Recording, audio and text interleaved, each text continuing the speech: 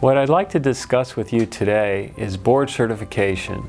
As a practicing oral and maxillofacial surgeon who's been board certified three times by the American Board of Oral and Maxillofacial Surgery, it's important that you check the credentials of the dental specialist who is recommending that you have dental implants. The dental specialist may be board certified by the respective boards or may not. They could just as easily have uh, sent a check to an organization and gotten a degree behind their name that is not really a board that's sanctioned by the ADA or the AMA.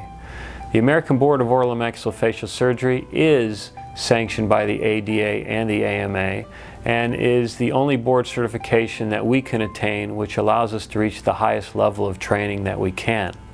It's important that when you see a dental specialist for a dental implant or complex oral procedures that you inquire about their board certification because you want to make sure that they have the expertise and they're qualified to perform the procedure that they've recommended that you have.